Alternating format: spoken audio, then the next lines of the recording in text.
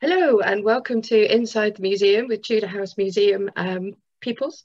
Uh, we're broadcast, we're recording in December, but we'll actually be recording this in January. So um, if our weather references are wrong now, we apologise. Uh, we've got several people with us, but I will let Anna introduce after the twiddly music. Cue twiddly music.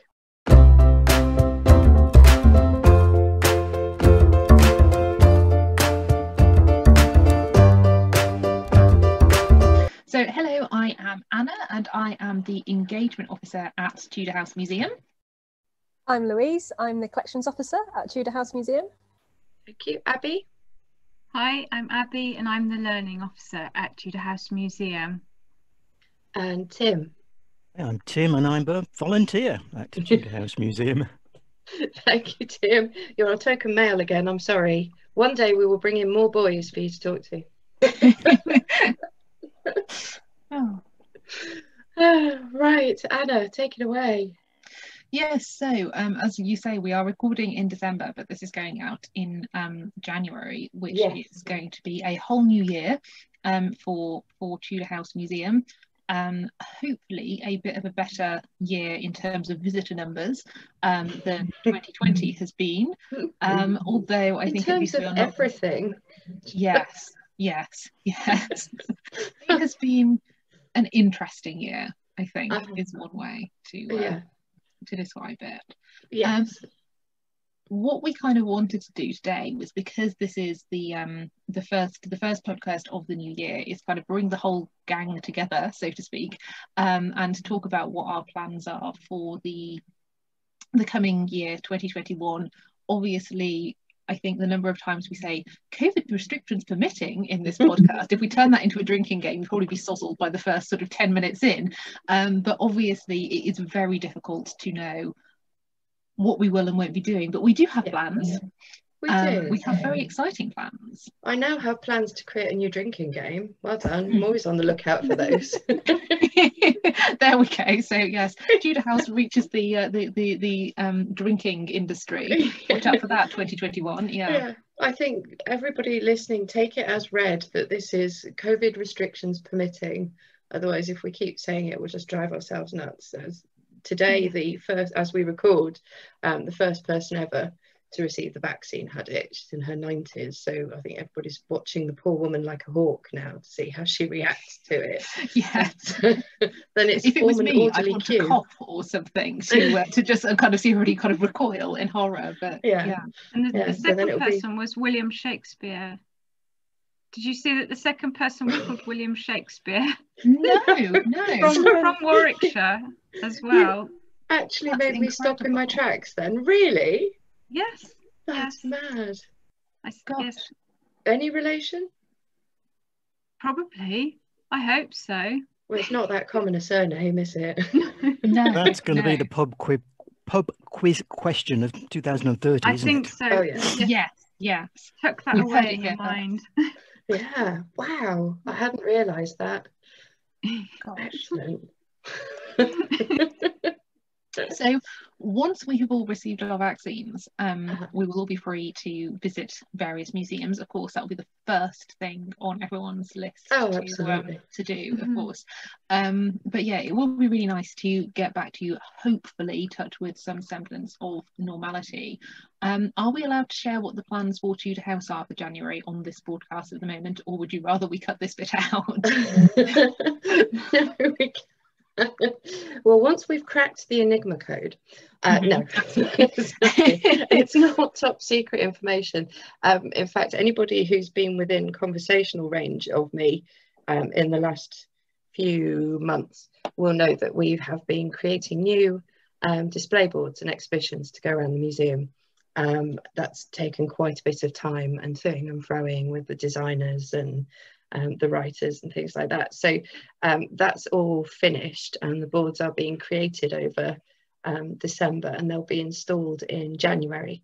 Um, so that's our big January event basically. The museum will be closed until February, so you won't be able to come in and take a sneaky peek um, before it's all ready. But yes, January is the installation of all the new displays, all the new activities, um, the family trails, uh, everything. Um, goes in in January, and then we open with a bang, a metaphorical bang, not a literal one. Don't want everything falling off the walls um, in February. Uh, so yes, that's that's what's happening. Really, it's the culmination of um, three years of planning and 12 months of doing. So um, I'll be very glad to kind of see it all open and finished, and then I move on to the next big project. So yes, stay tuned for February's podcast to find it's out. It's not like I get to put my feet up and go, "That's it now, I'm done. I'm never fundraising again." So you mentioned putting things on the walls, and I have. Yeah. Um, I'm going to ask the very silly and perhaps obvious question. Tudor mm. House is a 16th century building.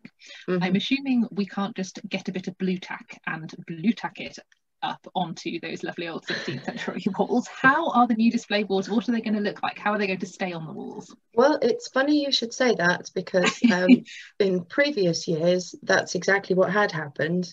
People had um, laminated A3 sheets of paper and then blue-tacked them to the walls because um, mounting an exhibition is expensive. Mm. and funds were very tight. And actually, the money we've got to create all these new displays has come from the National Lottery Heritage Fund. Um, so that means we've been able to invest in creating these great big, um, beautiful A1 sized boards that will be hung properly. I haven't got into the discussion about how to hang them, but I have seen the many, many emails that have flown between chair um, Jim from the first podcast and another trustee and the designers about what they can use. They could use something called command strips, which is basically extra strength Velcro that sticks to the wall. So it's Blu Tack with knobs on um, and then sticks that and you just stick the board or they could use um, fishing wire attached to hooks. Um, luckily, because it's such an old building, um, the former inhabitants have over the years very thoughtfully put in lots of handy hooks and nails into the beams so we can actually just use a lot of them um, to attach the boards using fishing wire. Um, so I've, I've kind of stayed out of the logistics. I decided it was an engineering job and as Jim and John are both former engineers, they can do that bit yes, I think this is called making use of the expertise to hand or something. Yes, delegation. I'm constantly being told to delegate, so I delegated that one out. well it's really nice though because i mean the boards will look really they'll look fantastic when they're yeah. up and um, it's really exciting to be able to sort of share some of the new research that has been yeah. found into some of those former inhabitants it was lovely this year to lose all those um, Blu Tack marks because Blu Tack's the very devil of a substance as handy as it is it just leaves grease marks all over your walls and after it's been up for a while when you pull it off it actually pulls off chunks of paint and plaster so to have that kind of gone is wonderful. We've got all these pristine walls now that look beautiful and really show off the building. And when the new boards go up, um, they won't damage the walls in any way, shape or form. So it'll be really nice, really lovely to see, really kind of top professional job coming up. Yes, so Tudor House is definitely when people say like, oh well, New Year's resolution, I'm going to you know change my appearance this way, that way, or the other way. We are going to be the first people in the history of the world to actually succeed at that New Year's resolution. I think. Yes, it will be the first inanimate building to achieve its New Year's resolutions. Yeah. Oh, well the only thing it won't do is lose any weight. no.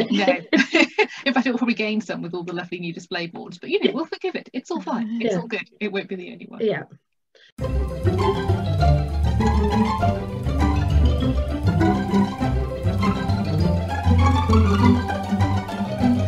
So, um, speaking of um, sort of research that we have undertaken into into the museum, and also speaking of some of those former inhabitants who are handy with the old fishing hooks and whatnot, um, this seems like a really nice time to bring in Tim, our resident research who what he doesn't know about um, some of the former inhabitants of the museum, well, it just frankly isn't worth knowing. Um, so Tim is going to give us another breakneck biography of one of the uh, former residents. Who are we going to go and visit today, Tim? Right, so today, because um, we alternate male female, we're on a female mm-hmm. uh, month, and I'm going to talk about Martha Wood. Okay. oh, yes. A Martha. milliner by trade uh, in the last quarter of the 19th century. Mhm. Um, and it's a, wait for it, joke coming. It's a rags, rags to stitches story. Oh, what I did That's it. You're cut off at this point. No more comments allowed because More uh, yeah, allowed. yeah. I've been working on that one all week.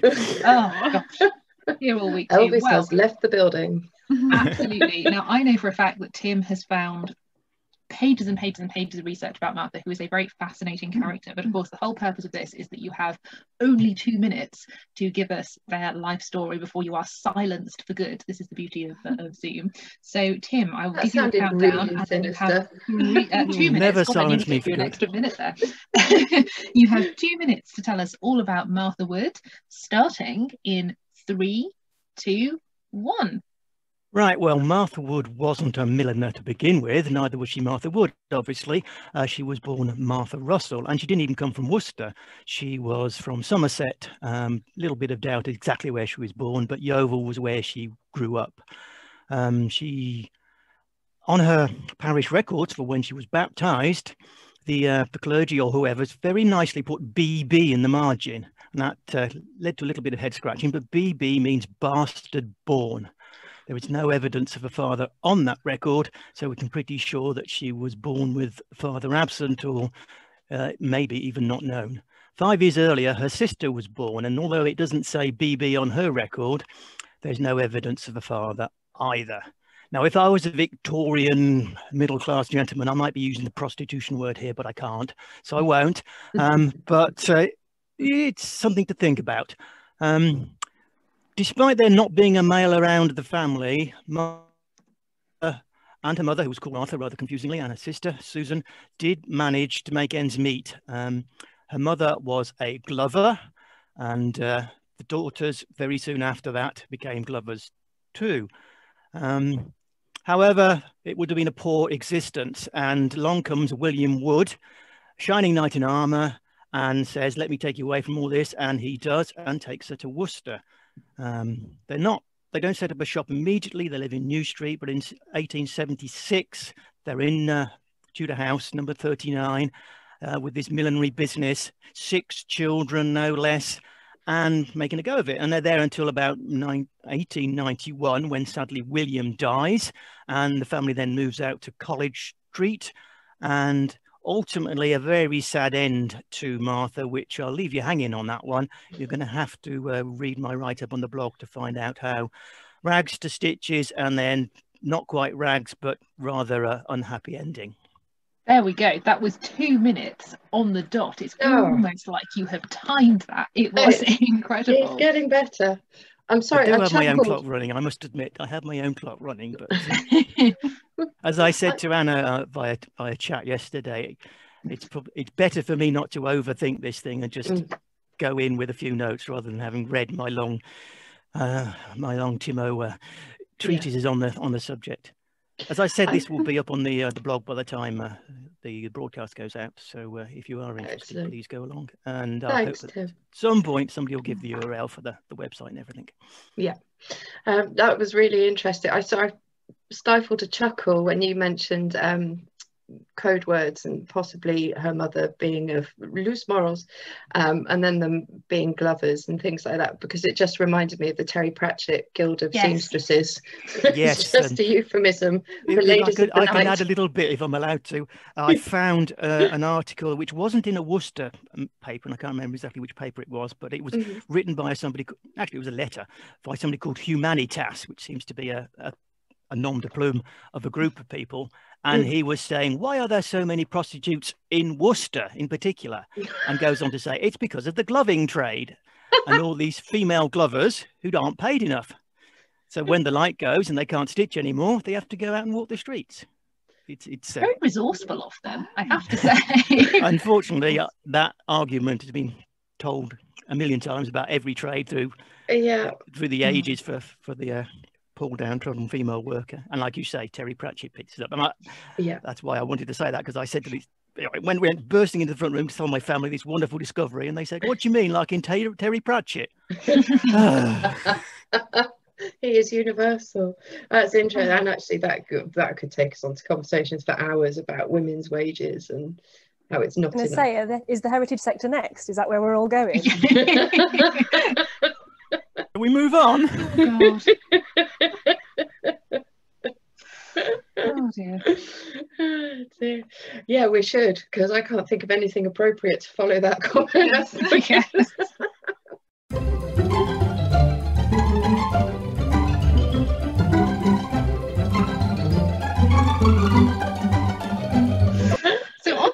on Louise and Abi, would you like to introduce yourselves and tell us what you get up to in a good, clean, wholesome way at Tudor House? Yeah, tell us about your day job. yes, yes, yes. Louise, do you want to go Go, first? Yeah, um, so I was brought in in July this year, sorry, last year, and um, have been basically just a bit of emergency looking after the collections, working out what we've got, where it is, where it's come from, um, still working it all out. Um, but yeah, really exciting. We've got some good stuff in the collection. A really nice, really nice collection of World War II stuff that most people will be familiar with if you visited before. Um, and I've, on the table in front of me, I've got a lovely box of stuff that's just come back from the archives. That's all been lovely and cleaned from our um, finds that were found in the ceiling when the ceiling was Oh, done. yeah. So um, they're a bit less mucky now, and I can actually read what it says on them. They were. They came out in such a state that you'd pick them up by the corner with finger and thumb. Go, oh my god, where can I, where can I put this? It's just filthy. It was crud of the ages stuck to the surfaces. And Yeah, poor Rhonda at the Rhonda Hive Worcester reckoned- Archives Rhonda at the Hive scraping reckon there's probably anthrax on them. So. Yeah, Oh, God. yeah, we don't get danger money. they're clean now. They're all clean. Thank- yes, thank oh, thanks to Rhonda for her Yeah. valiant efforts with that. so how did you fall into the museum sector, Louise? How did it draw you in? Oh, not falling. I was curating my bedroom ornaments from the age of 12. Did they all have little labels that had sort of, you know, when, when they were required and no labels, but I was writing little books of what I think my mum thought I was writing shopping lists, but uh, I was just writing down what I had in my bedroom. that was probably my very first emergency plan. Uh, but yeah, Yeah. um, I've been really lucky actually. I've worked at lots of different places in, in the heritage sector over the last sort of 15 years. Um, Yeah. And yeah, it's been it's been nice all over the West Midlands, um, as well as at Tudor House. I'm currently working at the um, George Marshall Medical Museum and also at the Museum of Royal Worcester. So yeah, all in Yeah. Worcester at the moment, which is very rare to be able to walk to all of the places that I work. Um, Oh, yeah, it's good. Makes such difference Yeah. being able to walk though, doesn't it? Mm. Rather than commute. Um, yeah, so that's that's the epitome of a patchwork career, isn't it really? but it's excellent. I really like it because it means you don't get bored in one place for too long or doing the same thing all the time. But for those who don't know, what's the difference between a curator and a manager? Because people assume, as I'm the manager, I'm also the curator and like have to disillusion them. Okay well i suppose that tudor house uh, uh, uh, yeah no okay so at george marshall the word curator is flung about quite yeah I, i'm Yeah. i'm the manager really but if there's it's just me so it's always been called curator actually i think when the job was first advertised when the george marshall opened in 2002 it was learning officer and then Oh, it changed really? because they realized there was so much collections work along with it and they wanted someone that could do a bit of both so um, Mm. yeah i think a curator would traditionally be involved in researching the collections and looking after the collections um, whereas manager would be well everything else Yeah. is that sum, sum up your role there? Just everything. yeah. Everything else. That is pretty much it. Yes. Yeah. So what is it you love in particular about collections work? Oh i'm so i'm s- such a loser. I just write, like writing lists. I like to I like knowing where stuff is. And I like it to be clean. I like it to be labelled I like it to be where it's supposed to be so that when you want to put a really nice exhibition on next year or whatever you can go to the box and it's in there. I know. Oh finding God. something in the box that it's supposed to Yeah. be in, like the best it's just like yeah Friday night woo so I have a question about your sort of object stuff, and you don't have to. You you can answer this sort of anonymously. Have you ever lost something or broken something in a museum collection? As I say, you don't have to tell us which one it was at um, Tudor House or otherwise. no I've not been here long enough to break anything at Tudor House I have broken one thing and it Mhm. was actually in 2020 Oh. Was at the Museum of Royal Worcester and it Yeah. was an accident and it was a new acquisition of um, something that we actually had already. It was a duplicate in the collection. So I'd say it was probably destined for the handling collection. Um, Mhm. But yeah, it's the very first thing I broke. It just fell off the table all by itself. I just, you know, I was just stood right next to it when it happened. It's the Yeah. It's Dr. It But everyone's broken something in museum collections. We Oh, do our God. very best, but everyone's broken something. Yeah. Yeah. We lose things all the time. It's so easy. Yeah.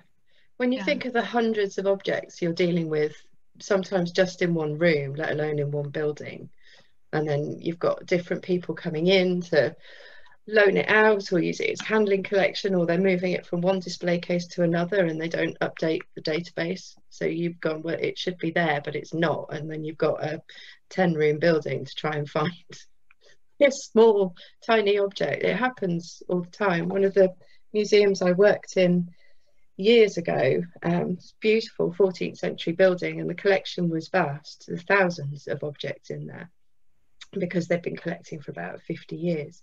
And it was, you know, it ranged from nails for horseshoes up to Anglo Saxon burial treasure. So it was a vast range.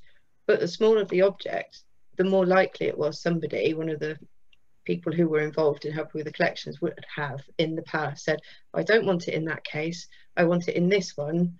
And that's in a room halfway around the other side of the building. And didn't tell anyone that they'd done it because they could back then. It was more, there was more enthusiasm than method in those days. so, yeah, thank God we now have location and movement um, forms. But Yeah. yeah, Can I jump in with the question? Yeah, sure. So, Louise, what have you fixed whilst you've been at Tudor House? Anything in particular you've been managed to put back together from a sorry state? My Um, appalling filing system. No, no, there's nothing wrong with there's nothing wrong with the filing system. In terms of putting stuff back together, do you mean like actually mending an object? Yes, or- indeed. Yes. Uh, no, the, nothing's the, the inverse of the broken Worcester pot. No, there's nothing broken that I found in the collection apart from a teapot in the kitchen where a bit of the spout is not there, um, but it's just in the teapot. So is, and it's part of the handling collection. It was always it was always just going to be in the kitchen, uh, but no, nothing's actually not. It's not usually the job of a collections officer to actually mend something. So usually the break's part of that object's history, um, unless it m- becomes completely unusable, at which point you send it off to a conservation specialist somewhere um, to do it properly, and that costs a fortune. So we try not to break them in the first place. And then usually, if it comes to us broken, that breaks part of its history, um, which is really What a important. cop out. Wish I could say that. yes, dear. The lawnmower was broken when I got to it. it's part of its history. Yes, indeed. Oh, Just so to you Yes. mentioned- Hey Tim, we don't want that lawnmower. Don't bring it to us. Oh, you don't want it? There is a museum of lawnmowers somewhere, though, isn't Yeah. there? I'll go try yeah. them. There we go. Phone them up. See what they have to say. So I have a question, and and um again, this is another very basic question. So I think I may be asking the silly ones. You mentioned a handling collection. Is a handling collection is that always sort of perhaps replica stuff that can be pulled out for, for school visits? So I don't know if Abi would actually answer that that question, or is the handling collection stuff that's kind of maybe not as valuable that you can let people have a go at sort of touching and feeling? How does that work? You want to tell everyone what you think our handling collection is, Abi, and then I'll tell you what I think it is. That means I might be wrong. well, the handling collection isn't necessarily replica um, objects or, or or objects that are made for for schools or um, uh, workshops. It can be something from the collection that you think we've got duplicates of of this, and it can safely be handled and um, it, so therefore it can it can be put in the handling collection. So it doesn't have to be a replica object, but it has to be something that can withstand many um, 10 year old hands picking it up and putting it down and you know um, so so perhaps something like porcelain in the porcelain museum there may not be so much um, handling collection i don't know in the porcelain museum that's that that children can get their hands on but um, at tudor house we've got so we have got lots of things that are real objects, but we've got lots of things that over the years people have made, like replica replica costumes, replica tools, um, uh, things like that, which are, you know, sort of, I suppose the replica objects are the best things for children and groups and families to, to handle really, because if something does ever drop off a table, then uh, it's not going to matter too uh, much. It's replaceable. Yes. See, my definition is anything that's replaceable, basically, or that you've got multiples of. So, Louise, your definition. I think my definition of a handling slash education collection has changed drastically since I've been at the Tudor House Museum. Okay.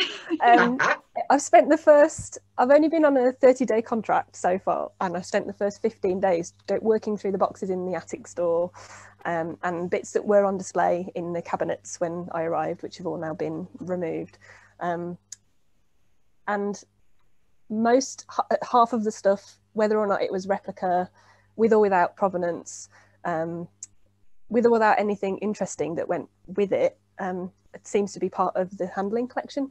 And it's only now that I'm, as I'm crossing down my list, of the inventory to work out what's collection and what's handling collection, mm. that actually there's some really fascinating stories in the handling collection that probably for some reason I don't know why I, have no idea why it was added to the handling collection not added to the permanent collection yeah. Um, but it's yeah I mean what did we find the other day Tony there was a, a, a bag made out of the leather from a oh, bus seat yes yeah That's that amazing. was in the handling collection but yeah. you think actually that you could just put that on display on its own you wouldn't want people to be picking that up and opening the cases because that's quite um, something special. You're not going to find many of those in the world. I think it it arises when you have museums that start off volunteer led and they do this amazing job of bringing in things from their own past and from their friends' past and their families, um, but they're not entirely sure whether it's museum worthy. So to cover themselves, it either all becomes collection or handling. And if they think it's not valuable, then it's handling and it's free for anyone to kind of pick up and open up. Um, if they think it's valuable, it'll go in a case or in a box, um, never to be handled again. So I think that's where the confusion can arise, and that's why we've got we had a lot of handling collection. Um, and then once you start adding replicas into the mix, you just expanding it out all the time. Um, replicas are incredibly handy just because, um, you know, as Abi said, they can be knocked off a table and replaced. You don't have to worry about a professional's description or definition of providence, Provenance. Provenance.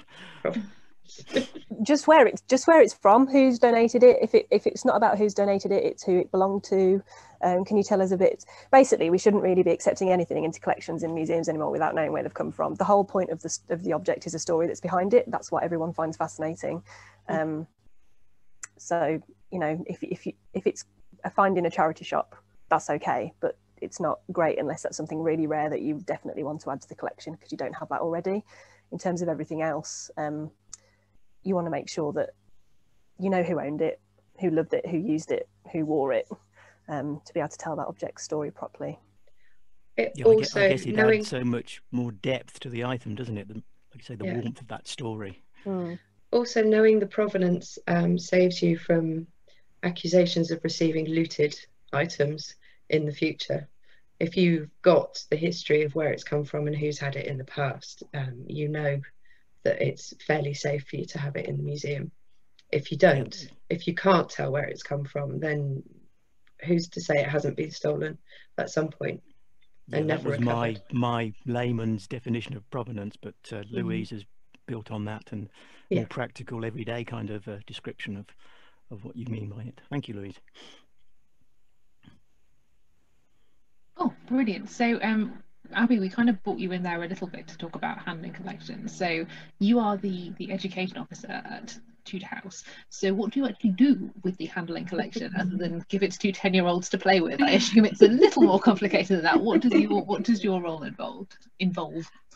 Um, well, I so I started at the museum um, in May 2019 and um, sort of started straight away with the with the school visits to Tudor House.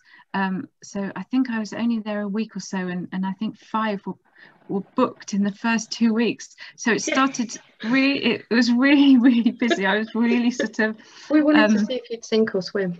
yes, I was really kind of thrown in at the deep end. And although I'd I'd done, um, you know, I've delivered workshops before at other museums to to school children. It was the first time that I'd had to kind of uh, think about all the kind of elements of admin and and and sort of sorting them and delivering them and sending the invoice afterwards and all that sort of thing.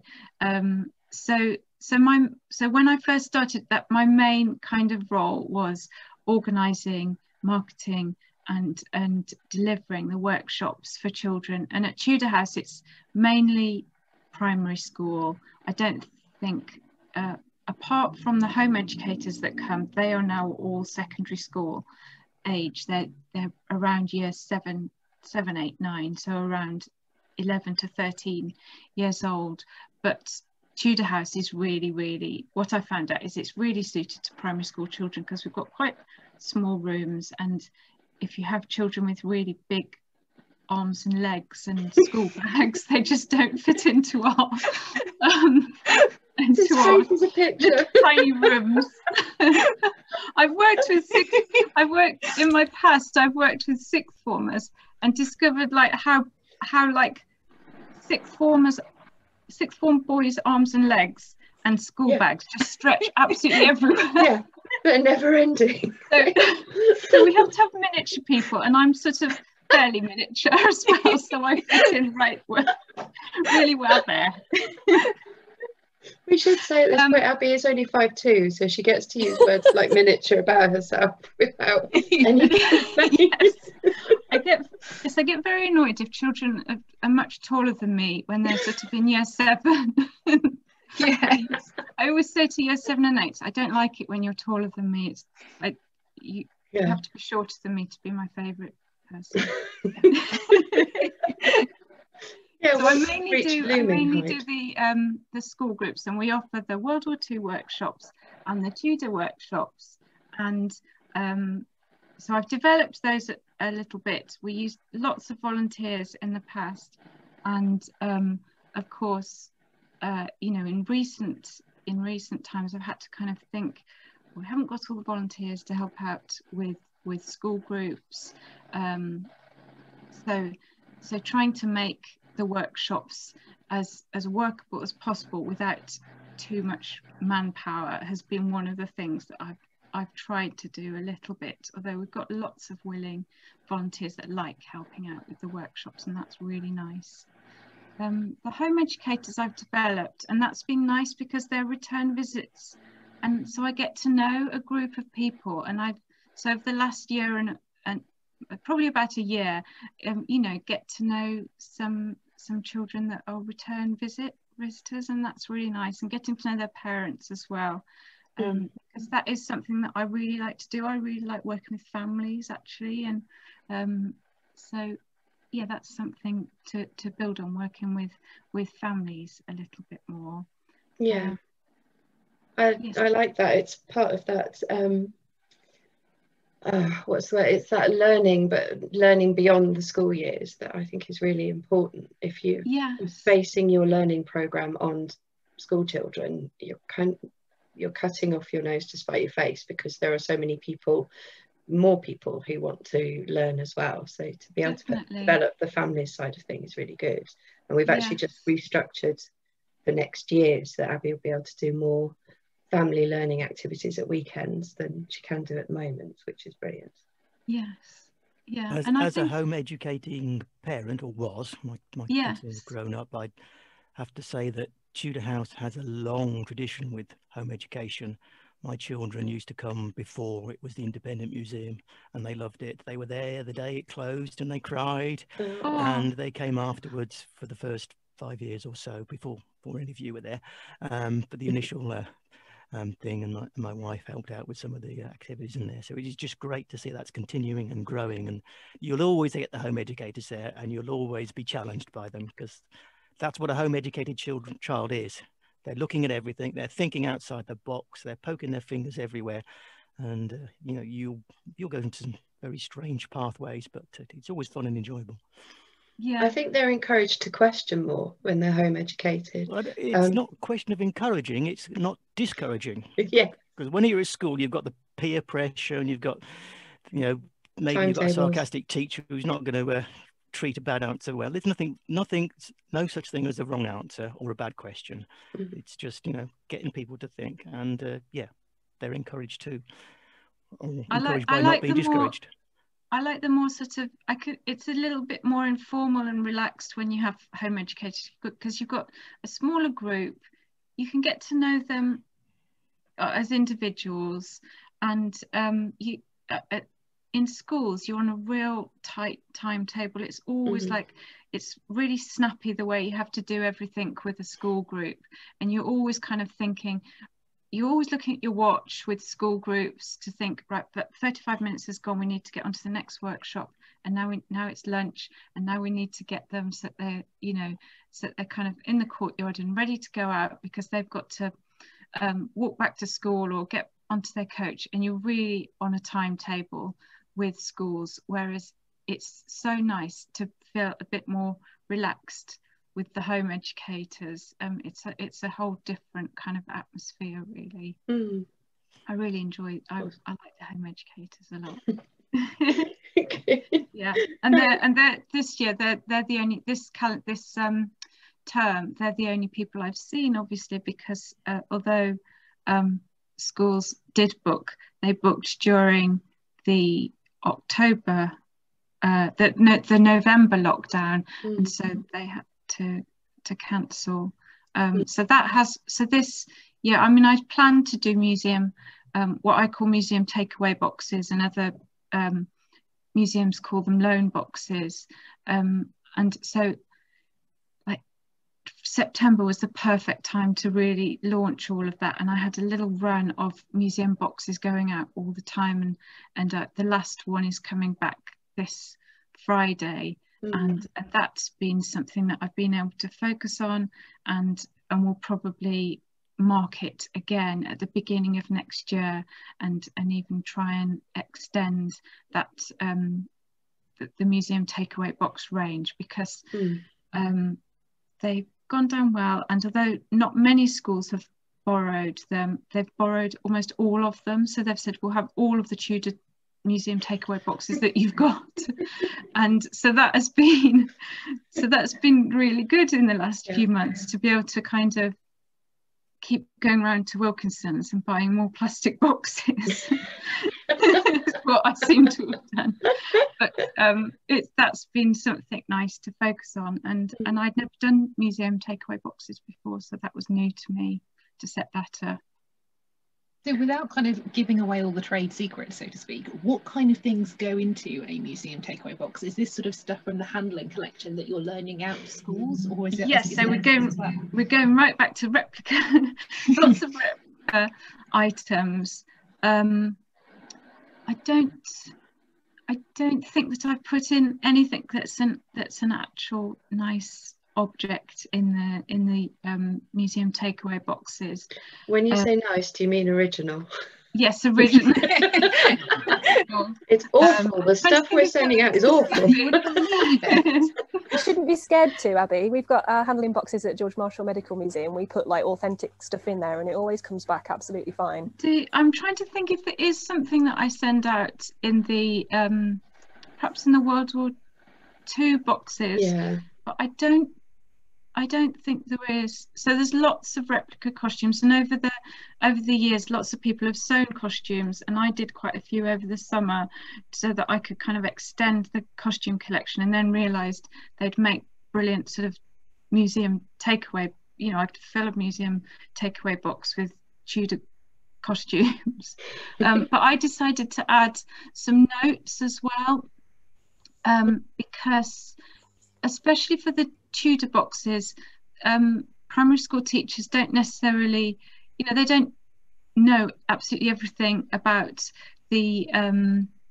you know the topic that they're teaching. That's why they come to a museum to kind of add to the children's learning and probably add to their own learning as well. So there's also so I do write some notes because one teacher was very worried that I was going to give her a box of objects that she wouldn't know what a single thing inside it was. So apart from a from a very detailed contents list which is useful for counting all the items back in again it also uh, it also kind of helps identify what all the objects are um, because especially you know with costumes um, you know a teacher might know what um, an Elizabethan ruff might look like but they might not know what a, like a doublet is or breeches or something like that so I just try to make it as user friendly as possible and then I do I, I do add in like along with the notes, I do sort of do suggested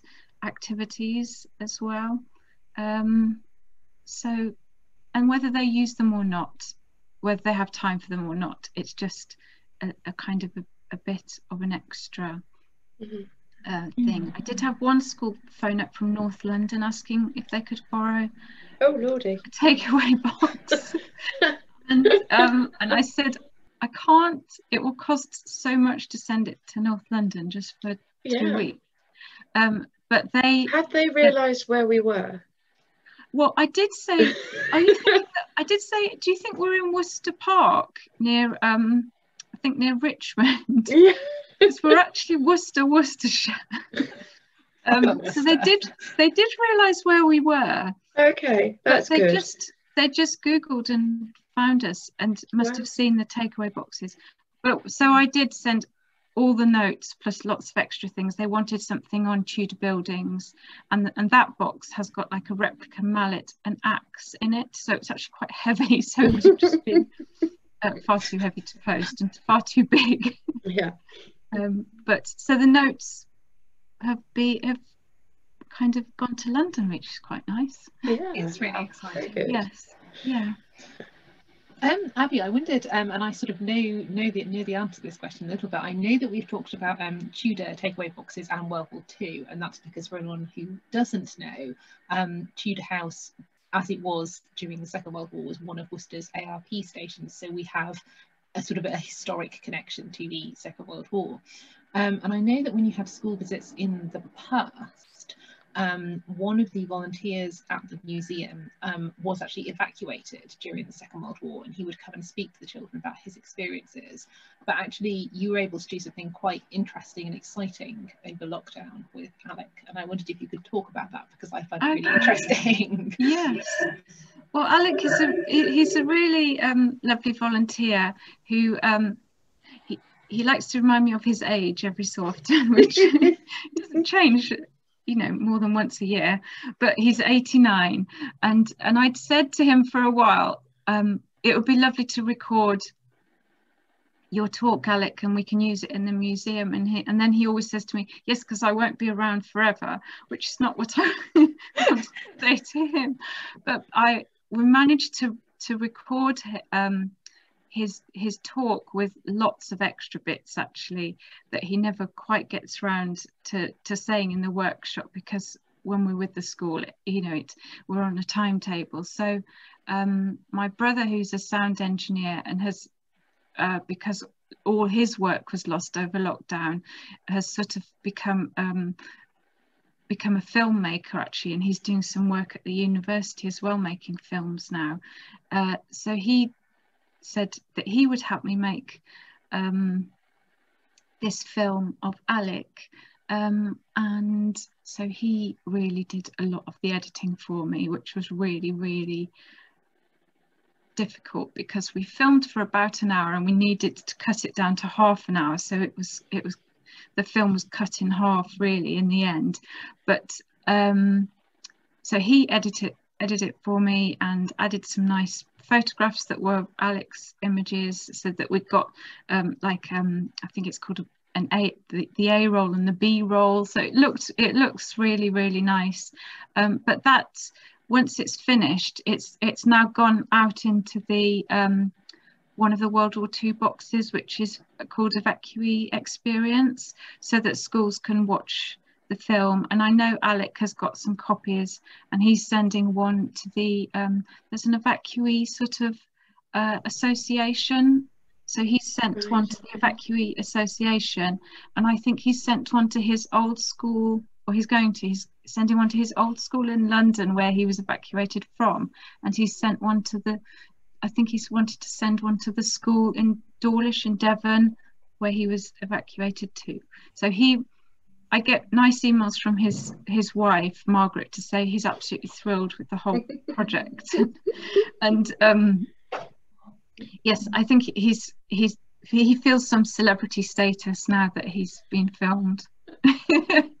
As well, he should. I think. yes.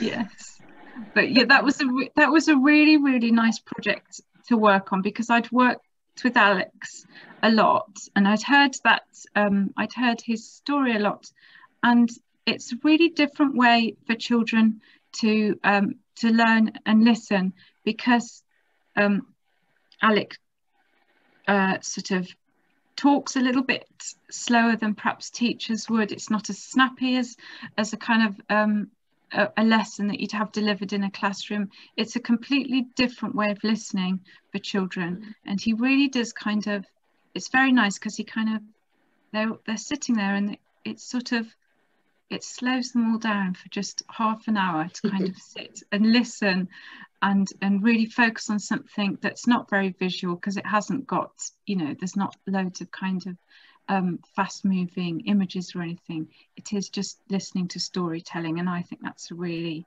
nice way of learning actually. Mm. Excellent, thank you. Yeah.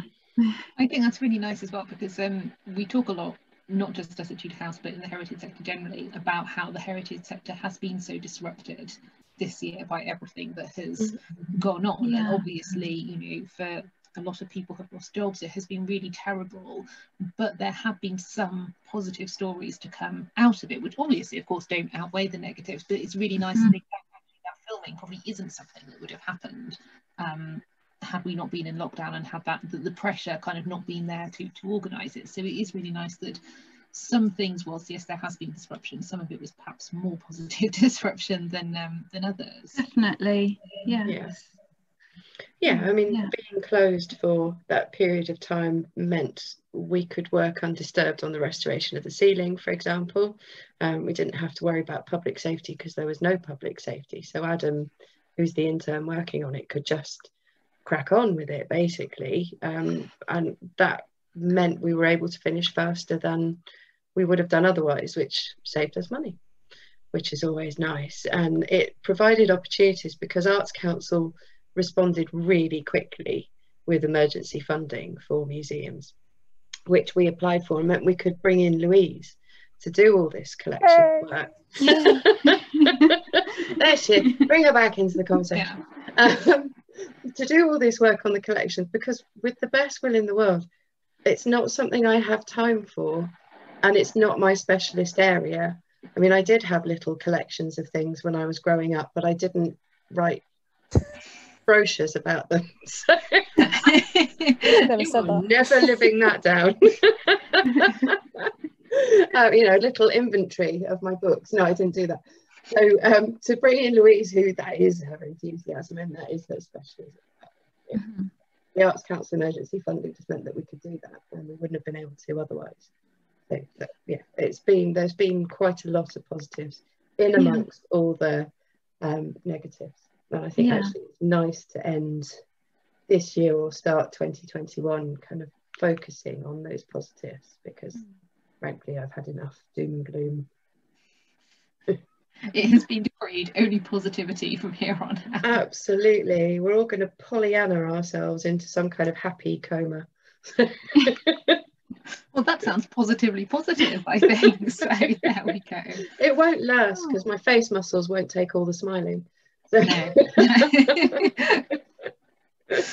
oh dear. so are we going to go ahead and talk about our um, our sort of cultural recommendations with a sort of a looking forward vibe now? Does that sound like a plan? Yeah. Yeah. So um, my kind of cultural recommendation um, heritage site thing, um, I have to say, is a bit of a cop out because I have decided that my New Year's resolution, I want to visit 12 um, heritage sites, museums, cultural events in the Midlands that I haven't been to before because I think we all kind of get into a rut of going to our kind of favourite places and there's nothing wrong with that at all but I'm going to challenge myself to do 12 um, as I say, museums, heritage sites in the Midlands that I haven't been to before. And if possible, um, I would also like, as a sort of a national uh, level, to do the same thing, but 12 heritage sites that I haven't been to before that aren't in the Midlands, that are a bit further afield. Obviously, this is all incredibly dependent on what does or doesn't happen with the various travel restrictions. Um, but Mm-hmm. having felt quite kind of culturally deprived this year in terms of actually going to a place and buying a ticket and a little postcard in the gift shop so you could show that you've been to the place, I'm determined to kind of make up for it next year. And I'm going for 12 because that's the equivalent of one every month. But I feel like it might all be kind of crammed into the summer when we can all do it outdoors over there, what have you. But Mhm. that is what I am looking forward to next year. Tune in next December for my report on was- all 24 places. I was gonna say, So- we're going to have to bring you back in December for an Yes, update. Yes. Because your contract, well, I can't believe this, you've been with us for over a year now, but your Mm, contract actually ends with us on the end of February. it Um, does. and we'll probably talk a bit more, I know, Yeah. really sad. We'll talk a bit more uh, when we do the next Mm. podcast, but kind of, what are you going to do? How will you replace the gaping hole that Tudor House will leave? Well, I mean, More to the point, how will Tudor House I f- think- feel the I gaping I hole? think I'm going to have Zona. to come back in one of those fantastic costumes and be a mannequin. So you will find me in the Tudor bedroom standing there in Mrs. Cottrell's outfit, You're gonna seeing if I can be pull it off. Do you know the last mannequin we had, I decapitated, so I really oh, wouldn't God. do that. And there was ones that you should scare the children. yeah, this is the- true. This is true. Yeah, the creepy dentist that used to have, he had to be roped to the wall because he couldn't stand up on his oh, own. he had hair that made him look like a Scooby Doo villain. I can beat I can beat that. I can beat that. We've still got our mannequins at I George Marshall. know. And our anaesthetist that sits in our surgery diorama has his foot screwed to the floor, oh, otherwise Oh, he falls over. Oh, when I worked, well, the first museum I worked at, it had a mannequin for uh, that was supposed to represent a monk, and it had the monk's robe, and he was supposed to be a scribe. Unfortunately, he'd lost most of his fingers, so he still had kind of bits of nails and bits of fingers. So you'd peer in and go, "Oh my god." How long has he been there? Did you embalm him? Is he genuine? Oh. yeah, Oh, I, I'm not a fan of mannequins. To get rid of the dentist, I did a, a social media poll, and people could vote whether he stayed or went. Um, and I had to fudge it slightly because unfortunately, two friends of mine voted for him to stay, and it just tipped the balance. So I had to get hold of my mum's social media accounts and vote. No, he goes. This is so how you claim away a genuine victory. It's like I'll only go so far in the name of democracy, and then it's, you know when I really want something, it's a dictatorship. That sounds like a proper manager's motto. I think that's what Yeah. you uh, that's what you go when you get to point. oh, Abi, what are you aiming for this month? This Um, month, this year, whatever, This- whenever. ne- so next next year Mm. Um, well, I've been saying to a friend, and we've said this for about two years, that we really want to go to Charleston, which is in, it's quite a long way to go. It's in Sussex, and it's the house that um, Vanessa Bell and Duncan Grant lived at in the Bloomsbury group. And I just love that kind of era of art and um, and the house just looks lovely and the garden looks gorgeous. Um, so we've been saying that we're going to do it, and next year I really really want to go and do that. But that is a math.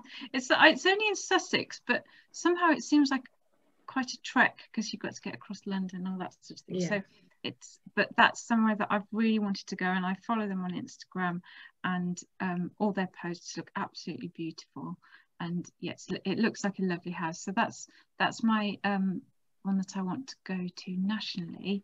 Um, and then, but nearer to home, I'd like to. In fact, I swapped an email with somebody that worked at that works at um, the learning officer at Selly Manor, and and I thought I really must go to Selly Manor. They're a museum that's very much um, like Tudor House, and um, and I yeah. So that's as soon as as soon as they're open, I should really go and and explore another museum very similar to Tudor House to pick ideas from other people at museums, small independent museums. Um, caring and sharing. Or no, I'll put not. I'll put that differently. To share to share ideas. Yes. yeah. um, but yes, so that's my one closer to home that I'd like to go to. Nice. Yes, so I've just got two, Anna. I'm not going for 12. well, yes, like I say, I did think that was a bit ambitious, and then I Very thought about like all the ambitious. places I haven't been to this year because it's um because lots of places close for it was really unfortunate. Lots of museums will close for January and maybe up to February half term, and just when they were sort of starting to think about reopening, Yeah, we're all in lockdown again, and uh, I know. yes, fingers crossed for a better a better 20, 2020. Tim, what about you? What are your plans for next year? Right, I'm going to go down the middle and go more two and less than 12. Um, Okay. the last, I can't remember how long it is now, four or six weeks, I've been working on some research that Anna asked me to do, to do with uh, the trades and occupations of the people who lived in Tudor House over the last 500 years. So we've, I've picked out 10 of the trades. Some of them are reoccurring, like Martha Wood earlier, the milliner. That, was a whole string of uh, milliners. In, and some just one particular example of like a shoemaker back in early 1600s. Um, and the, and the, um, the aim was is to find out what they would have done, who their market was, whether it was local or uh, international, where they've got their raw materials from, and maybe a little bit of political comment about the time. Um, when we came to the milliners, there was a whole raft of stuff that they were using, which we would have thought totally and utterly a no-no these days. Mhm. Things like uh, exotic birds, not just the feathers, the whole bloody things, um, exotic birds and skins and oh, all kinds of things that make my blood boil. But it was obviously part of the uh, the way things were then, uh, which we have to accept and record and move on, I guess. Mhm. So from that, I kept thinking, this is great. I can Google all of this. I mean, this has all been done in the typical Tim Onions lockdown fashion. Is just sitting here, googling and following the spaghetti trails and coming out with some nuggets of gold. Um, but what I really would have wanted to do to do this was to go to the reenactments, the recreations of these things. Now, there's one just down the road from the museum in the City Museum uh, in uh, Foregate Street. Got the original interior of Steward's chemist shop, uh, which was on the high Mhm. street. So it's not ours, but we had a chemist drop shop in number 38 from, get the numbers, uh, 1850s. The guy was there. Um, and it probably wasn't quite as grand, but it was a chemist shop, so it would have had all those lovely bell jars and carboys and uh, Mhm. And mahogany desks and whatever, and all the yucky stuff like leeches and uh, and all the dangerous stuff like arsenic and opium and laudanum and God knows what else. Um, so I would have liked to, that's my local one. I would have liked to gone there, and Mhm. because of the other trades, um, not particularly prevalent in Worcester anymore. I was thinking of places like Black Country Museum, uh, Blists Hill, the Ironbridge one, Beamish, and I'm sure there are other ones which I don't know of now, but that's what I would intend to do in 2021 once the lockdown's done is to get out of this corner of the dining room where I work and uh, see these things in situ. Nice. Thanks. Tim. That sounds really good. I can't wait to see what you find out, frankly. Louise, or do you need a little bit longer to think? No, I've already thought. I've already got it. Um, Okay, go for it. So again, this is good. I'm not going to come across well here. Um, Mm. with, uh, my partner uh, lived on an estate where all of the streets were named after castles. So, so we've had a challenge called the Richmond Drive Castle Challenge for a few years now to try and visit all of those castles, and Oh, we were wow. stopped in our tracks. We got we got as far as visiting places like Arundel in Sussex and uh, going up to Richmond, and then that was it. So yeah, Oh. I'd like to, I'd like to visit a few castles next year. We've got a little map on the fridge You got a list to tick off. with, the, with we highlight them and we've gone, and yeah, that that's quite nice because he likes the That's brilliant. castles. I like the coffee shop. Yeah. and um, we both like an audio tour around a castle as well. Uh-huh. Um, but yeah, he gets the castle, and then the next day we'll try and find some nature to go and see. So um, yeah, I'm going to go and try and see. I think there's one on the Isle of Wight we need to go and do, which we definitely haven't had the opportunity to do yet. I can't remember No. what the castle's called. Terrible, but yeah. Well, that Oh, sounds okay. lovely. Do you get a crown at the end when you have completed all the castles? That's Oh, I don't know, you're gonna very make me good prize. there we go. Badge. Yes, I will do that. That Surely, can be the that needs to prize. make me a crown. Definitely need a badge for all of that effort. yes, yes. don't know about crown. Oh, wouldn't get that far. Ah, okay, and then um, me. Um, Yes, you. This is a bit. this is a bit weird um, for me because we're recording this in December, and I am two weeks away from some major surgery. Not life-threatening, um, just uh, pretty hefty surgery. And if you're a woman of a certain age listening to this, you'll know exactly what kind of surgery I'm about to go in for. Um, so it means that for six weeks, all the way up until the end of January, I'm going to be laid up and unable to leave the house really. Although I am threatening to be wheeled in so I can oversee the new displays going. And they're not doing it without me. I've worked damn hard on these. I want to see them go in. Um, but yeah, I'm not really supposed to leave the house from now until the end of February. It was bad enough not being able to leave Worcester. I'm going to go crazy. Um, but I have uh, many, many books um, to read, and also the York University, their series of open lectures that they've been doing this year are all online and all on YouTube. So uh, those will be my at home, very, very at home cultural things. And then I don't have a wider national cultural thing for January. My sights are all pinned on at some point in the new year um, when I'm recovered and I can walk around for hours again. Um, we're planning to go to Paris. So I have an international cultural thing. And I That's want for to this podcast. Amazing. I want to go to Paris, not for the cakes particularly, or the Louvre, or anything uh, that kind of all leaves me cold. Um, I want to go for the Père Lachaise cemetery um, because I have a bit of an obsession with big metropolises or necropolises or basically cities of the dead, um, especially Victorian ones or ones from around that era, slightly later. Um, yeah, I'm a little bit obsessed with them, not quite as obsessed as my friend in Birmingham who's doing a PhD on them. Um, but enough to mean that for me a good day out is a cemetery and a tea shop. so we're going to Paris and I love there's so much in them there's history and there's art and there's social history and there's nature and the, they are just incredible places. Um, so yes Paris. Into that's my international cultural thing that I will achieve sometime when I'm better next year who knows That's when amazing. And I love that as well. Of all the reasons to go to Paris, because it's the city of love, because of the Yeah. fantastic food, for the graveyards, incredible. I really don't want to see the Mona Lisa but I just want to see where Jim Yeah. Morrison is buried yes, yes. Oh, Tanya, have you have you ever visited a charnel house?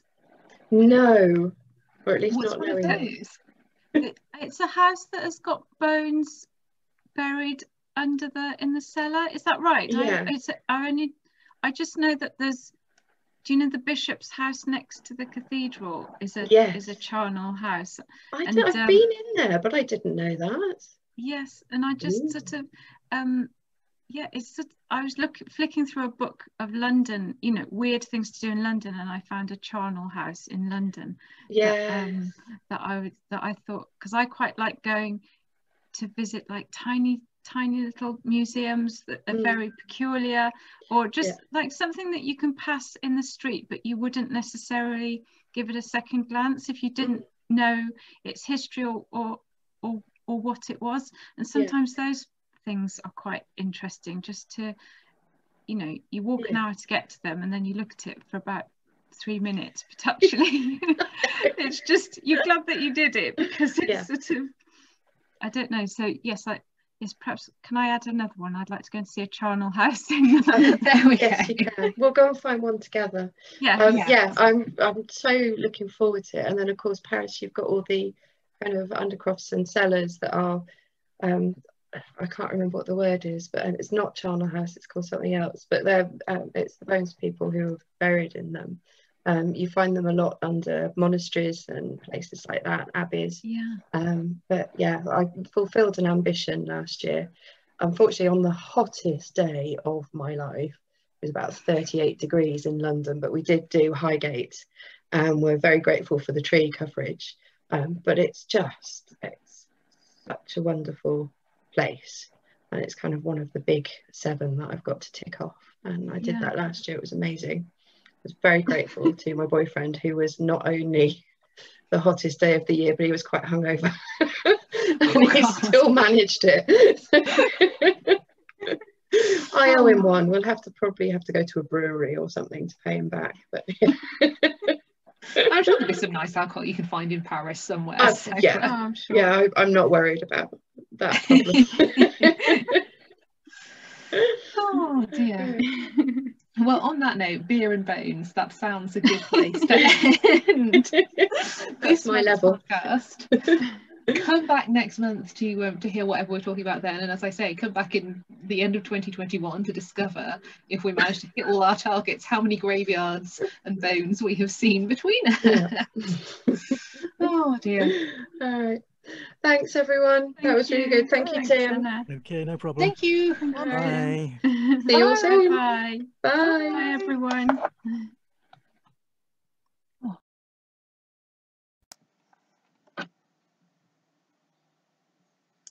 Inside the Museum is recorded and produced by Tudor House Museum as part of our Revealing the Past project, which is kindly funded by the National Lottery Heritage Fund. The original idea came from Frankie Ekentap. The music in this episode was by Kevin MacLeod. You can follow us on social media at Tudor House Worcester or visit our website www.tudorhouse.org.uk where you can also find Tim's blog. Our normal opening hours are Wednesdays to Saturdays, 10am to 4pm. We are closed for January 2021, but hope COVID restrictions permitting to reopen in February. Tudor House Museum is free to visit, but we do ask that under the current circumstances you pre book your visit. Information on how to do so can be found on our website. Thanks for listening.